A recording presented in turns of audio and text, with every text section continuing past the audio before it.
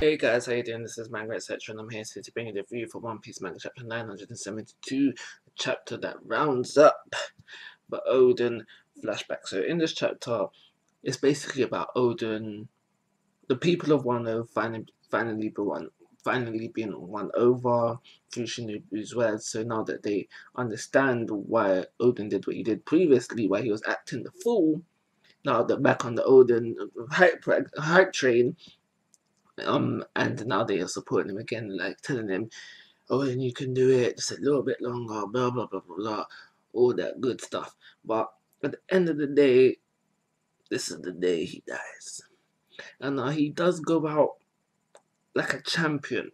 He takes the degrees up to 700, and it is mentioned later on within the chapter as the chapter still going on that that uh, says, "Yo, why is he still alive? Turn this up even further. So even regardless of it's Celsius or Fahrenheit, 700 degrees. Yeah, you, you should have been you should have been dead a long time ago. But this is anime. This is manga. We can't put things on the realm of how we perceive it in the real world. You know, people are doing crazy tish So yeah. 700 degrees, you know, that's like, what, that's like, that's just, that's just, for an hour as well. It's, brushed off. But it seems like Oden knew he was gonna die this day. I think he has a plan. I, mean, I think he's had a plan all this time a lot, and this, and I think having this plan comes from knowing what One Piece is because within the chapter he does mention that yo, that's because of the Kuz Kuzuzuki clan. Why the borders of Wano have been closed, and he does mention that it was because of the um an exter- was a great external power is coming its way or something like that. So you know we know this links to One Piece, so that this gets me hyped to know even more what One Piece is.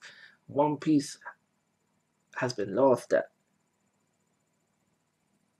in real world, in real life. It's been said to be something so beautiful that it makes someone cry. But we also know that there's an external power out there feared so much that somebody decided, yo, we need to close off our country. But at the same time, Oden knows what this is but he's like, yo, we still need to open up these borders.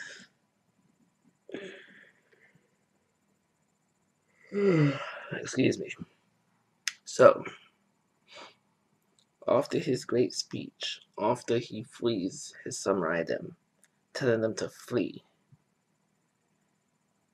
he gets the standoff with Kaido. Now, he doesn't leave the boiling bath. But before Kaido puts a bullet in his head, he says, Yo, I don't care if these people forget about me. My soul will live on. And now there's a bit of redemption for Kaido because people are getting mad. People in the base are getting mad because that whole thing with the hag and he changed into Momosuke and then Kaido got in the cheap shot. We found out that Kaido killed the hag. If you see that as redemption, you know, fair enough. I probably, I personally didn't have a problem with it anyway. Because at the end of the day, you know, they're pirates. They're not good world people. You know, cheap shots. You know, you'll get your cheap shots in. You know, like was it? I can't remember who said it, but it was someone from Shanks' crew. Know, we're not saints, not holy men. We're pirates. We will do the dirty. So yeah. But anyway, we also know that was part of Oden's plan that if said he would die, you know, send the people them to the future, and we know that's what happens, and then, you know, give the swords to the kiddies. So we know that Oden had this all planned from the get-go. So the end of the chapter does make it seem like, you know, we're going to go back to present day, but I feel like there should be one more chapter of this flashback just to see them go into the future. Well, yeah not really necess necessity. That's everything that happened in this chapter. to give it a three star review. I mean, rating.